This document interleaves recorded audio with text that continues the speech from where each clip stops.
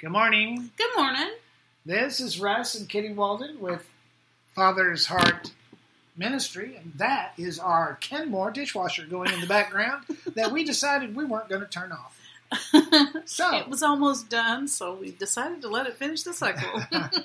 you, and I want you to know, ladies, that I loaded that dishwasher this morning. yes, he did. He's quite handy around the house, women. He's a mighty man of God. Ever since my mother passed away, I've always enjoyed. That was 2000. I've always enjoyed doing housework. I did it before, but I truly, when I do housework, I feel my mother's spirit. I don't mean her ghost. I'm not getting weird on you, but I just sense my mother's presence when I do housework, and therefore it's just a delight to do that. Sometimes she has to come out and slap my hands. I'll and say, would you please leave my chores for me, dear? chores for Kitty to do. Of course, I don't do them. I love it too. I don't It's not very often. don't often do them the way a, a lady's hand will, will do them. I don't have the eye for that level of detail all the time, but I try. And uh, He's very helpful. Very helpful.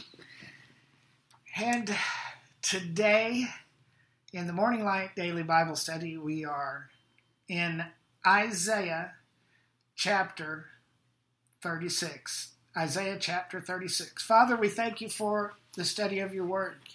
We glorify you, Lord. We draw to your word. We draw near to you. When we take your word in our lips, we bring Jesus on the scene because you said in John 1 that Jesus is the word made flesh. Yes, God. And so let your word become flesh in our study today. Let your Holy Spirit come. We just acknowledge you. We connect with you. We acknowledge those that are gathered with us around the world, Father God. And we say yes, yes to your spirit, yes to this body. We may not be in a brick and mortar church, but we are a body gathered nonetheless. And we say, "Kotabarabasende bastabaramende debiakoshtorabasotarabarabasata." And we just pray out your mysteries. Mysteries in Siberian Russia, mysteries in Beijing, mysteries in the United Arab Emirates, mysteries in Nashville, Tennessee, in Port Allen, Louisiana, Sotobarabasata debiasata, and in Branson, Missouri, Kansas City. and Kansas City, Missouri. And we just thank you, Father, Lord. for that which is represented in this Bible study, Father. Thank you, Father. And we glorify you today. We're thankful to be able to do this. Lord, we know you spoil us, but the difference is we We- don't take it for granted. We appreciate it. We appreciate it. And so, Isaiah 36, who do you think you are? In chapter 36 of Isaiah, the emissaries of Assyria come up against the besieged city of Jerusalem to mock their faith in God. Hezekiah is ill, the city is surrounded, and there is no deliverance coming out of Egypt or Ethiopia. Rabshakeh of Assyria taunts the faith that the people have in God, and he points to the destruction of other nations around them, and he says, Who do you think you are? As a taunt that the enemy brings against them, and doesn't he do the same against us? When you dare to put your trust in God, there will be times and circumstances that people, remember Job's wife and her thinking, when she told Job, just curse God and die, when Jesus was hanging on the cross. The Pharisees said he saved others, himself he cannot save. Mm. Uh, how many times has it been said, Where's your God now? What you do next, what you do in the midst of that. What did Jesus do when he was mocked? He said, Father, forgive them knuckleheads.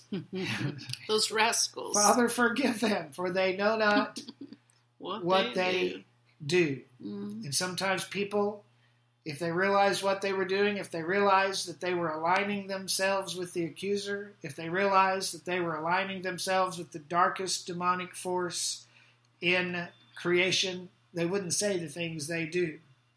When they sneer, when they roll their eyes, when they whisper behind our back because we choose to believe God in impossible situations. What you do next when that comes determines whether deliverance comes or whether you're going to be plowed under by the assault of the enemy. So, Isaiah 36, verses 1 through 9, please. Okay. Now it came to pass in the fourteenth year of King Hezekiah that Sennacherib, king of Assyria, came up against all the defense cities of Judah and took them. And the king of Assyria sent Rab- Rabshakeh. Boom shakalaka. Rab- Rabshakeh. we were pronouncing all these names we were trying. Um, okay. Uh, from Lace, Lace, Lachish. to Jerusalem unto King Hezekiah with a great army. And he stood by the conduit of the upper pool in the highway of the fuller's field. Then came forth unto him El- Eliakim, Hilkiah's son, which was over the house, and Shibna the scribe, and Joah, and Asaph, Asaph's son, the recorder.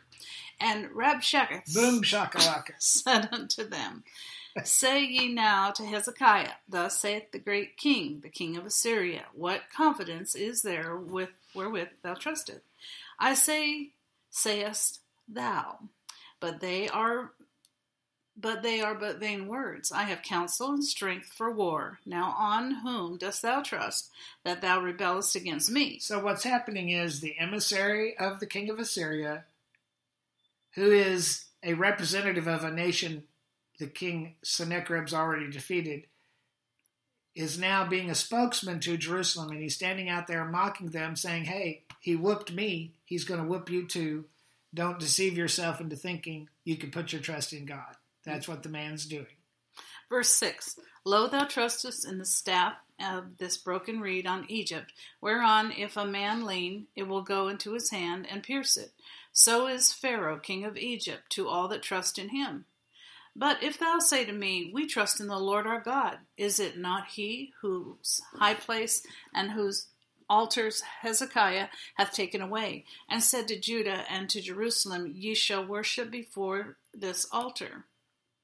Now, therefore, give pledges, I pray thee, to my master the king of Assyria, and I will give thee two thousand horses, if thou be able on thy part to set riders upon them. How then wilt thou turn away the face of one captain of the least of my master's servants, and put there thy trust in Egypt for chariots and for horsemen?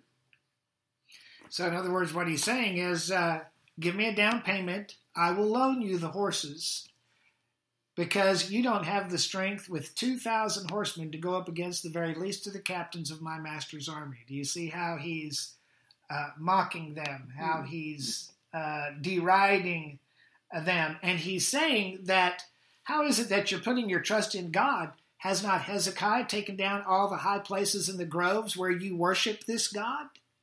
And he's commanded you to worship in this one place in the city of Jerusalem. What Hezekiah did is he took down the altars of the idols in the high places and said, You're going to come here and worship in the temple. But from watching Judah and the southern kingdom, the Assyrians and the nations around them presumed that they worshiped the Hebrew God in the high places because worship in the high places was so common among the people of God.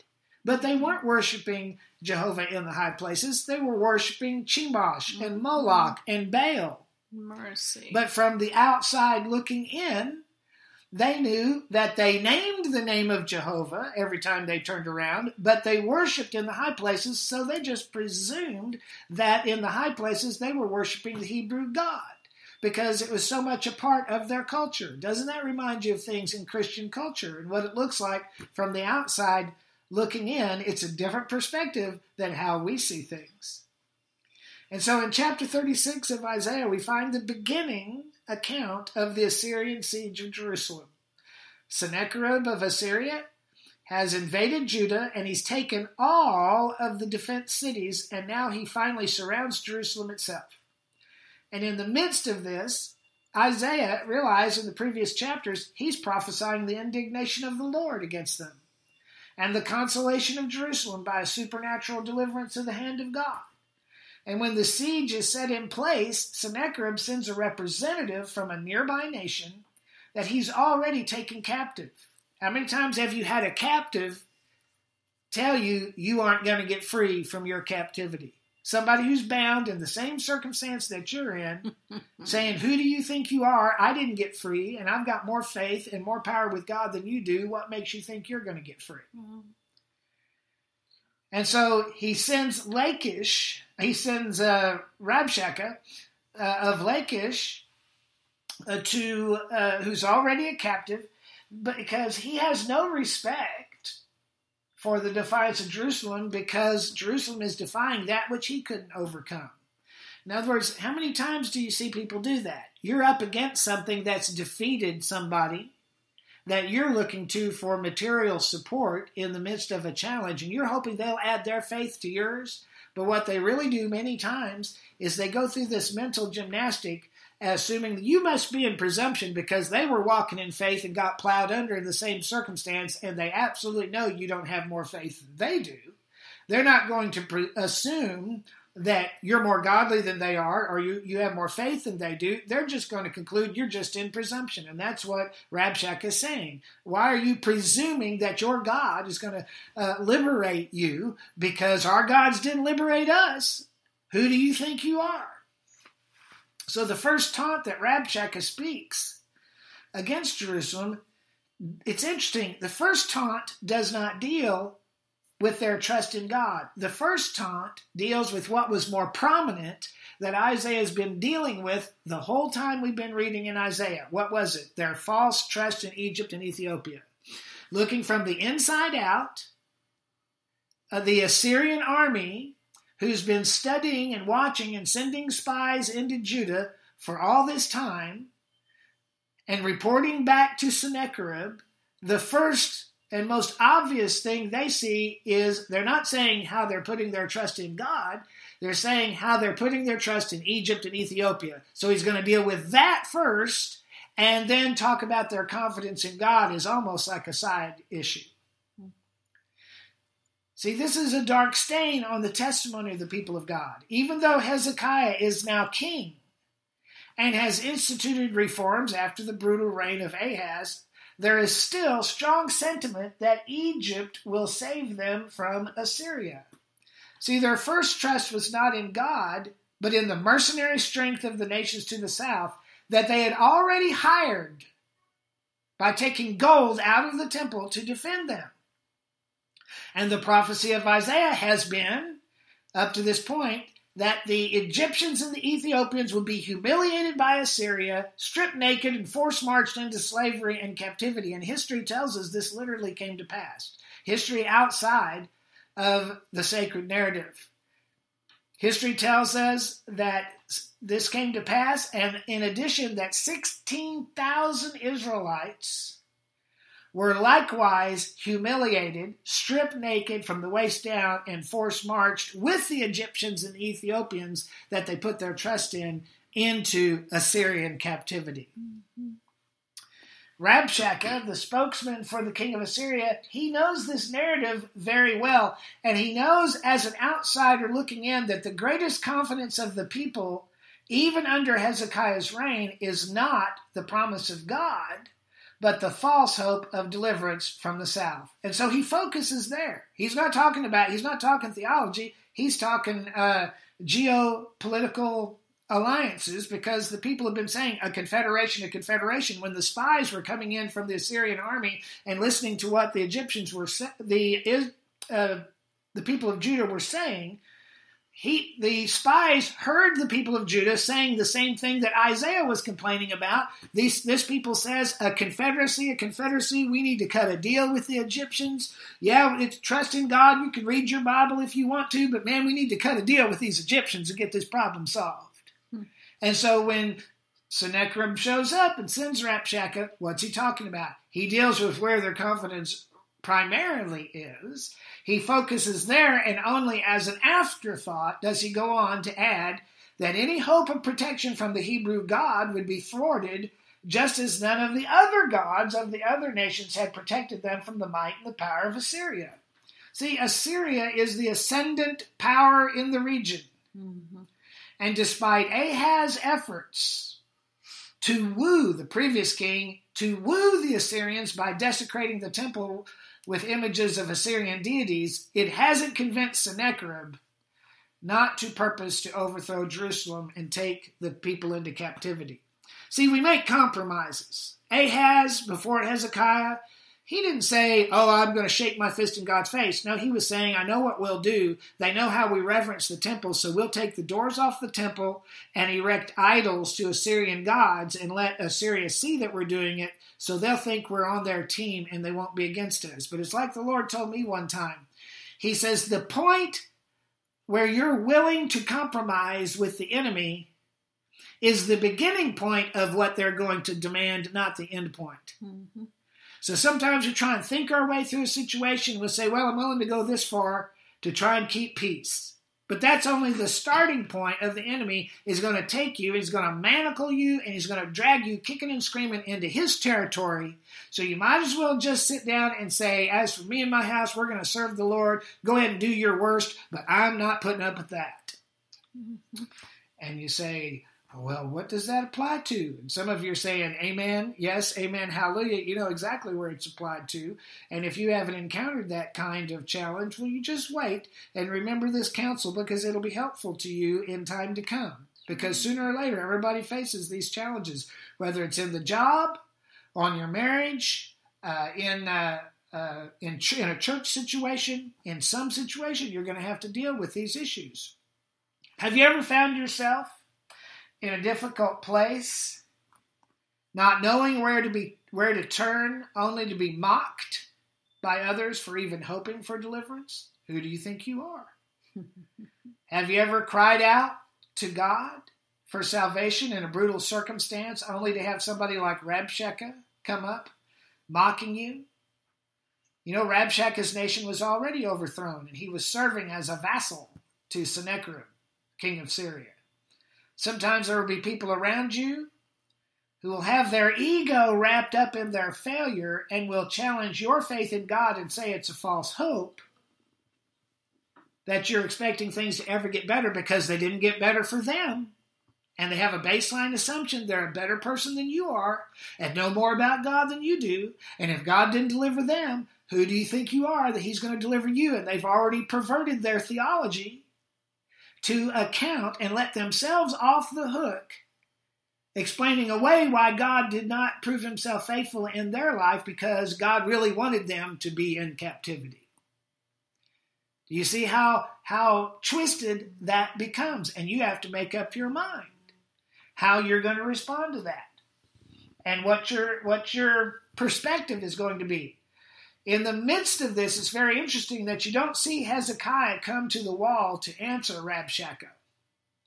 He sent his servants because we know from previous studies that Hezekiah was sick and, in fact, was dying at the time of this attack on Jerusalem. Now, God gave him reprieve and he had 15 more years, but that hasn't happened yet.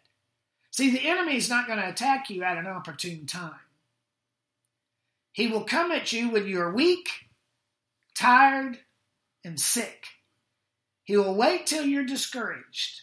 There's two, there's two times in your life that the enemy is going to come at you. One of them is in abject defeat, and the other, the other one is in the aftermath of utmost victory. Mm-hmm. Kitty and I have learned that when we have a conference and God showed up and tremendous thing happens and miracles are made manifest, we're very conservative coming out of a conference like that about what we do next. We usually spend a week just pulling back, getting quiet before the Lord, because we know that that's going to be a time that the enemy is going to rise up and try and tear us down and assault us and attack us. And we've, we've learned that by experience. We've learned going into a battle. Mm-hmm. We've learned before we go into conferences, before we go into meetings, we don't do a lot of answering our phones. We don't we're not checking our text messages every 5 minutes. We're not reading emails because we want to get focused because you ever get an email from the devil? Mm-hmm. You ever get a tweet from the devil, a text from the devil, a phone call from the devil? They'll usually come right when you're supposed to be very, very focused. And uh, but right when uh, uh, the enemy will wait until you're discouraged and already struggling to assault your life for a final victory. And you have to understand there is a point that ignoring Rabshakeh is not an option. The army had surrounded Jerusalem. Something had to be done. The mockery of Sennacherib and his servant Rabshakeh had to be answered, and likewise there will be times that you'll be assaulted, challenged, and mocked. And pretending there isn't a problem will not be an option. and let's go on and read what else Rabshakeh had to say, verse 10 through the end of the chapter. Okay. And am I now come up without the Lord against this land to destroy it? And the Lord said unto me, Go up against this land and destroy it. So he's saying, God is with me. Mm-hmm. God told me to come plow you under. God told me, I love you, but. there it is, the big but. Verse 11 Then said Eliakim and Shebna and Joah unto Rabshakeh, Speak, I pray thee, unto thy servants in the Syrian language, for we understand it, and speak not to us in the Jews' language, in the ears of the people that are on the wall. But Rabshakeh said, Hath my master sent me to thy master, and to thee to speak these words? Hath he not sent me to the men that sit upon the wall, that they may eat their own dung and drink their own pee with you? Then Rabshakeh stood and cried with a loud voice in the Jews' language, and said, Hear ye the words of the great king, the king of Assyria. Thus saith the king Let not Hezekiah deceive you, for he shall not be able to deliver you. Neither let Hezekiah make you trust in the Lord, saying, The Lord will surely deliver us. This city shall not be delivered into the hand of the king of Assyria. Hearken not to Hezekiah. For thus saith the king of Assyria Make an agreement with me by a present, and come out to me, and eat ye every one of his vine, and every one his fig tree, and drink ye every one the waters of his own cistern, until I come and take you away to a land like your own land, a land of corn and wine, a land of bread and vineyards. Beware lest Hezekiah persuade you, saying, The Lord will deliver us. Hath any of the gods of the nations delivered his land out of the hand of the king of Assyria? Where are the gods of Hamath and Arpad? Where are the gods of Sepharvaim? Um, Sepharvaim? And have they delivered Samaria out of my hand? They're brothers. So here we really get what about your mama? Are you saying you've got more faith than your mama? He didn't deliver your daddy. What about your brother? Your brother, the Samaritans, they, they were plowed under by, who do you think you are? You're more spiritual than they are? Boy, he's cutting right to the quick. Verse 20 Who are they among the gods of all these lands that have delivered their land out of my hand?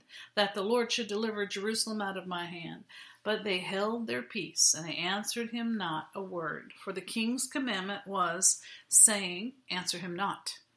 Then came Eliakim, the son of Hilkiah, that was over the household, and Shibna the scribe, and Joah the son of Asaph, the recorder of Hezekiah, with their, clo- with their clothes rent, and told him the words of Rabshakeh. And notice when they got through listening to all this drivel, that they came back to report to the king, but notice that they didn't say one word back to Rabshakeh.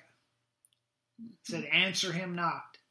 Charles Capps said sometimes the most powerful faith statement you can make is saying nothing at all. Mm-hmm. Just because somebody comes up and makes a demand or challenges you or wants to get into an argument with you or wants to distract you doesn't mean you have to get involved. Learn to not respond like the scripture says where there is no wood the fire goes out. Mm-hmm. so if you're in a fiery trial particularly where relationships are concerned ask yourself if you're the one putting the wood on the fire because you have to learn to be quiet you have to learn not to answer it's like my wife talks about sometimes you get in a situation where there's a confrontation and things are said and God tells you what to say, and then the next one that talks loses. There's times you just have to sit there and just look at them and hold your peace.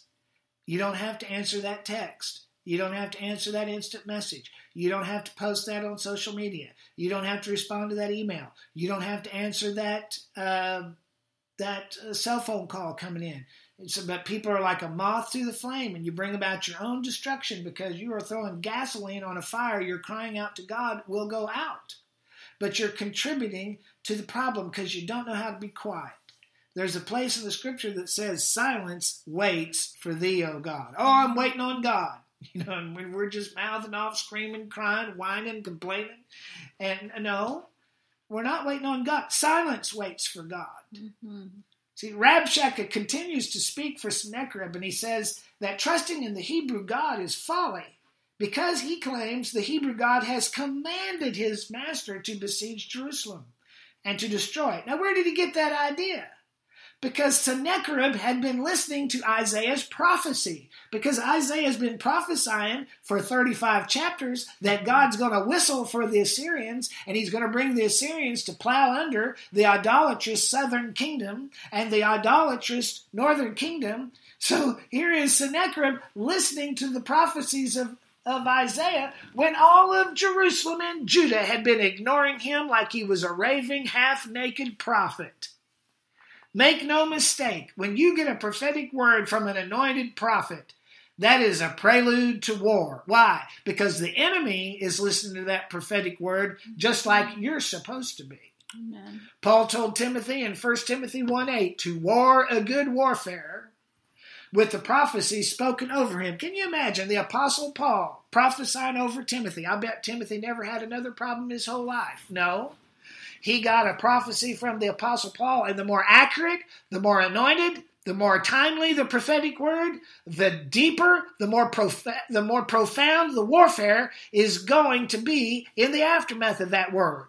So Paul prophesies to Timothy, and then his um, his conclusion is Timothy, buckle up. Mm-hmm.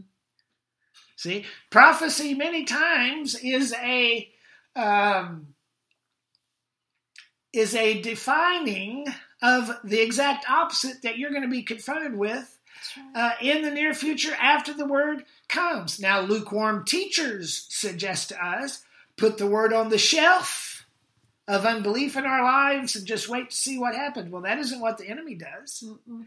Remember that Assyria is the type of Antichrist.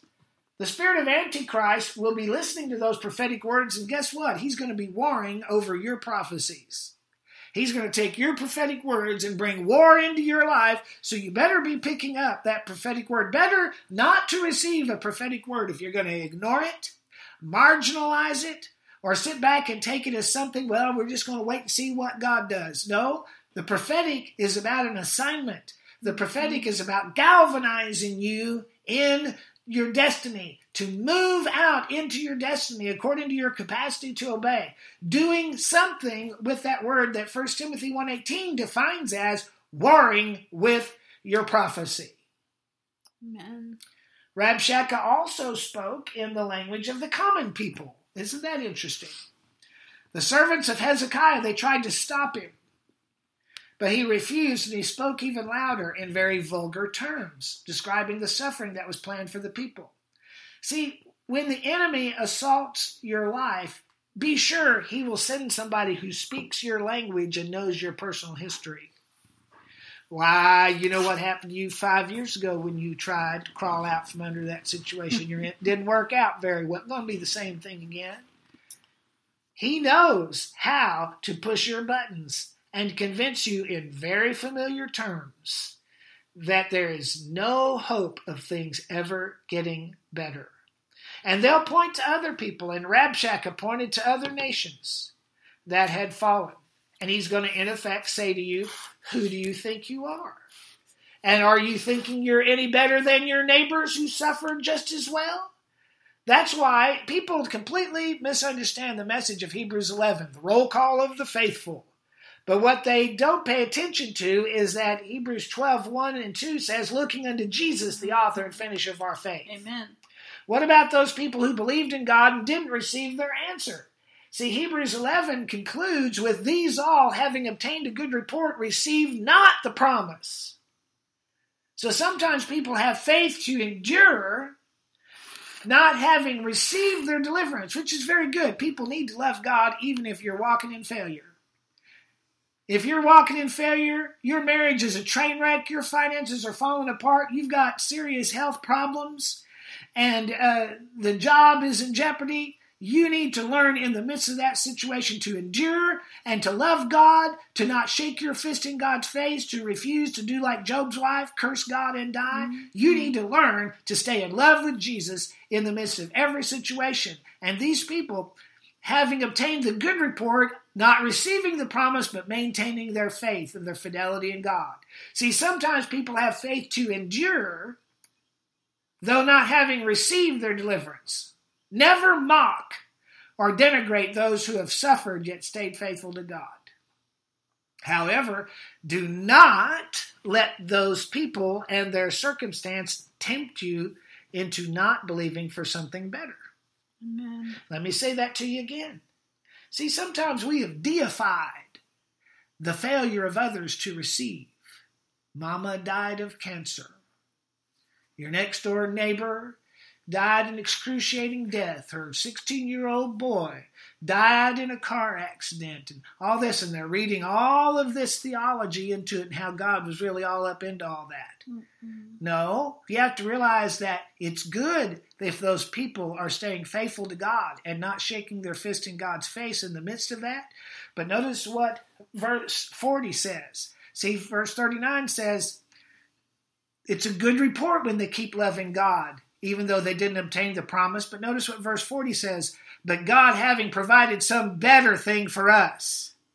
There's something better than staying in love with Jesus while you're being put through the meat grinder of circumstance. That's a good thing to stay faithful to God, to endure in the midst of difficulty. But here's something better that they without us should not be made perfect. See, our purpose is not to let the patient suffering of others be our example. Because Hebrews 12 goes on to say, he didn't say, now you follow their faith.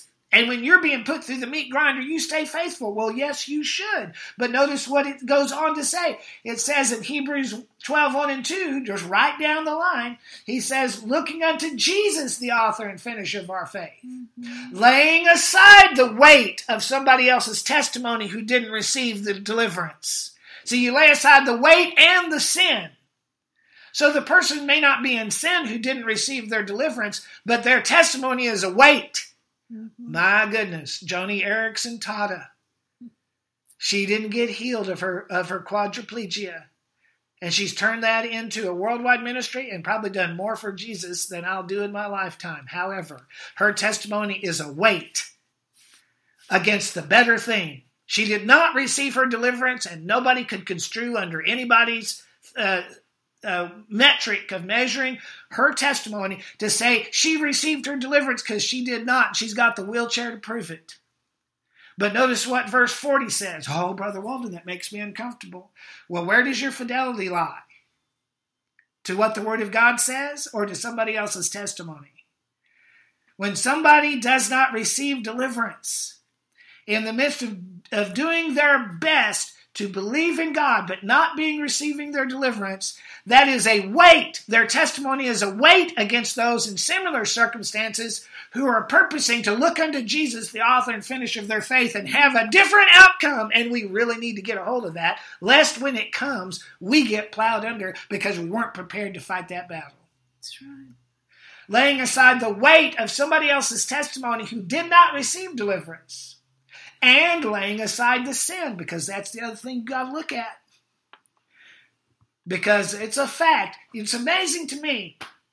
People say, well, they didn't receive their healing.